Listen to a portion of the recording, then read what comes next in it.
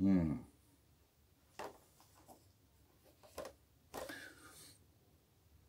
Well, Mr. Sunak,